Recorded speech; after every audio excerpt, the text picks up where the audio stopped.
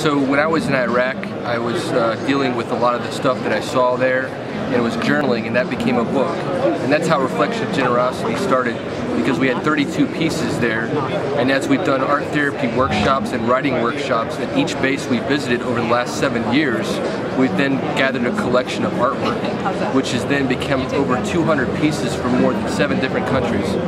But over 50% of the artwork is by veterans, uh, active duty service members and their families. And that's where the way I want to keep it. So you got this piece here called Isolation. Uh, when I was in the military, my first sergeant asked me to do NCO training. So what I did is I brought all my soldiers into a room with artwork, and this painting in particular uh, got a soldier talking, and she said, "That's me."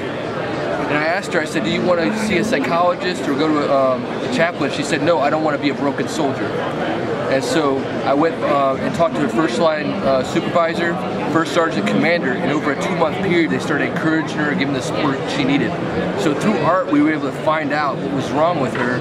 It wasn't really a problem, but figure out how to help her. And now she became more productive than her peers and she was smiling again and she was back to being healthy as a soldier.